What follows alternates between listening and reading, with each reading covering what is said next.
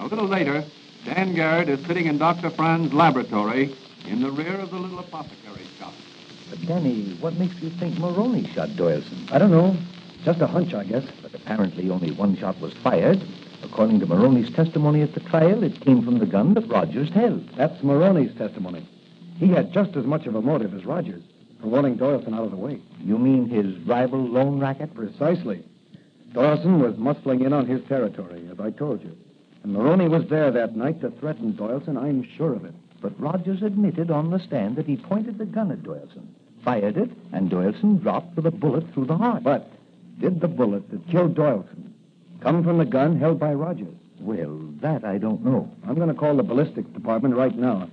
Check with our expert, Pat Uh, Sullivan. go ahead, Danny. Uh, there's the phone right there. Thanks. And another thing. Rogers must have been an expert marksman to have shot Doyleson through the heart, The distance was about 20 feet, wasn't it? according to testimony. Hello? Hello, police department. This is Patrolman Dan Garrett. Say, uh, give me ballistics. Hello, Sullivan? Garrett. Uh, do you remember the Rogers Doyleson case? Well, tell me something. Uh, was any examination made of the bullet extracted from Doyleson's body to establish the fact that it was shot from the murder gun? Hmm. Is that so? Yes, yes, I understand. Uh, say, could you get hold of the gun and the bullet and check them? Oh, thanks a lot. Goodbye. Uh, what did he have to say? The bullet was never checked against the gun. Well, that's strange. Yes, it is. But Sullivan's going to check them now, isn't he? Yes, and the Blue Beetle's going to check on Mr. Maroney. Anything special you'd like to take with you? Uh, yes, Doc. What about the midget portable television set you were working on? Well, it isn't ready yet. Oh, well, how about the midget portable sound recording device? Oh, oh, that's ready. I- I'll get it for you. Thanks, Doc. I'll need it tonight. All right. and Here. Here you are, Danny. Now, uh, just slip it under your Blue Beetle armor. Okay. And where will the Blue Beetle fly tonight? To call upon Mr. Maroney first, and then upon the governor of the state.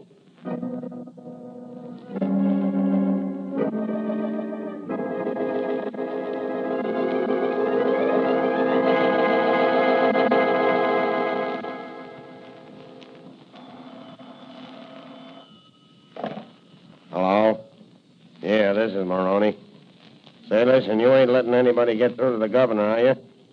What? That's right. Keep everybody away from the governor. You know what'll happen to you if someone gets to him with a plea for a stay of execution? Well, see that you keep on the job. You're the governor's private secretary. Should be easy. Okay. But remember, if Rogers don't burn, it'll be just too bad for you. Goodbye. The Blue Beetle. Yes, the Blue Beetle. Well, what do you want, masquerader? The murderer of Bats Doyleson. Oh, yeah? Well, you got the wrong address. You want the state penitentiary. You shot Doyleson, Maroney, Yeah? How are you going to prove it? with the bullet that killed Doyleson. And your gun there. Think so? Well, I'll just give you a taste of this gun like I gave Doyleson. Emptied your gun, Maroney, just as I thought you would. Why, you... Your bullets can't injure the Blue Beetle. Give me that gun. Come and take it, wise guy. That'll be easy. And I'll take your confession just as I recorded it on the device under my Blue Beetle armor. Back oh. on your heels, murderer. Back on your back. Oh. Hmm. That'll keep you quiet for a while. I'll just tie you up and take this gun. The cops are already on their way over here. There's a hot seat waiting for you, Maroney.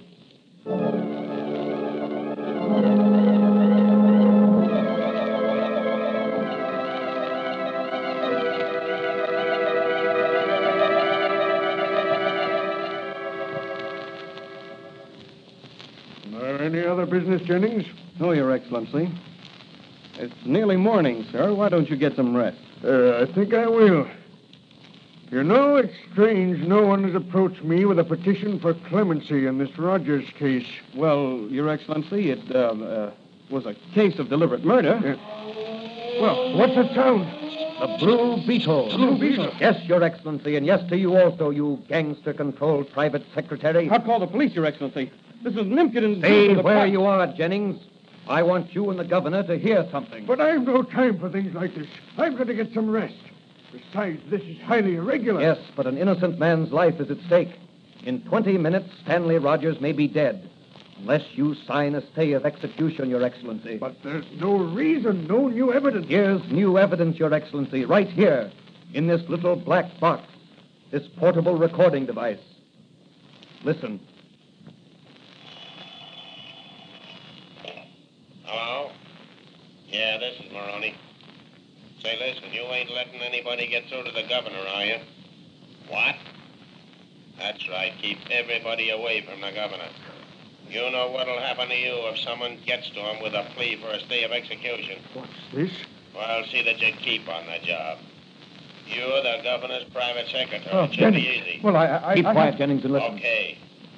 But remember, if Rogers don't burn, it'll be just too bad for you. Goodbye. The Blue Beetle. Yes, the Blue Beetle. Now, what do you want, masquerader? Murderer of Bats Doyleson. Oh, yeah? Well, you've got the wrong address. You want the state penitentiary. You shot Doyleson, Maroney, Yeah? How are you gonna prove it? with the bullet that killed Doyleson and your gun there. Think so? Well, I'll just give you a taste of this gun like I gave Dorsey.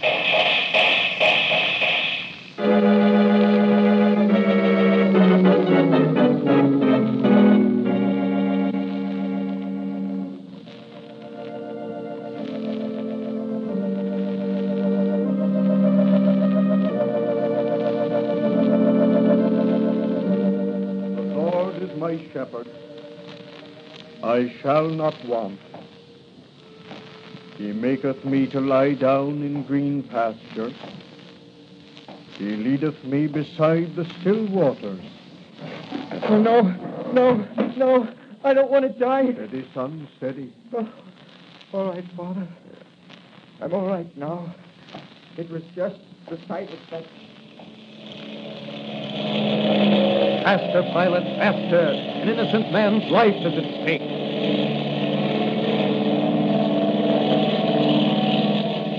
He leadeth me in the paths of righteousness for his name's sake. Sit here, my son. Adjust the straps.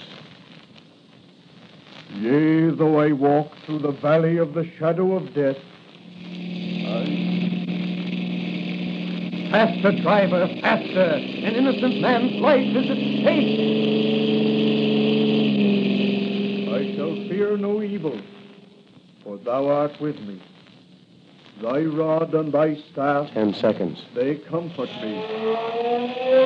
The Blue Beetle. Yes, the Blue Beetle, with a reprieve from the governor. What sort of a ghastly joke is this? This is no joke, Warden. The Blue Beetle comes as a messenger of justice. Here, take this paper. You'll find it's a bona fide stay of execution, signed by the governor of this state. But I don't understand. You're about to electrocute the wrong man, Warden. Stanley Rogers is innocent. The real murderer is on his way here, under police escort. I hope you'll have the guest chamber ready for him. Good night, gentlemen. The Blue Beetle's job is done.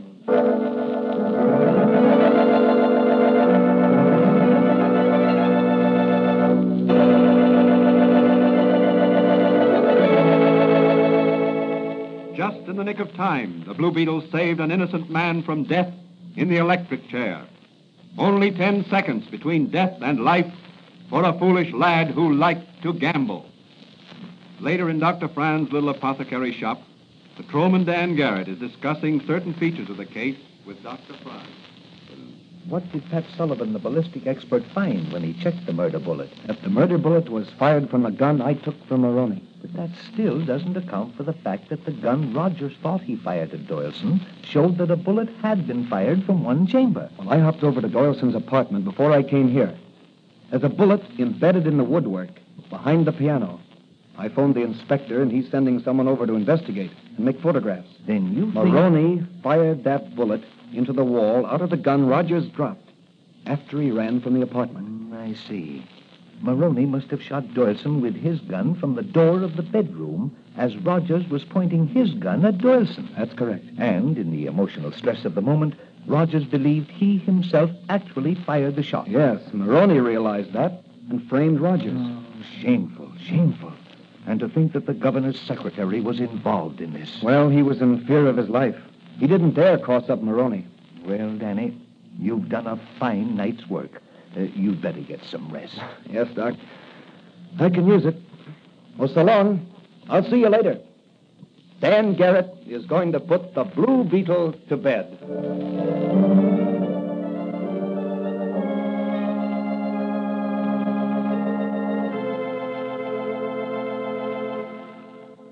And so the Blue Beetle has done another noble deed, saved a life, and brought a murderer to justice. What will his next adventure be in his crusade against crime? That question will be answered in the next episode of The Blue Beetle.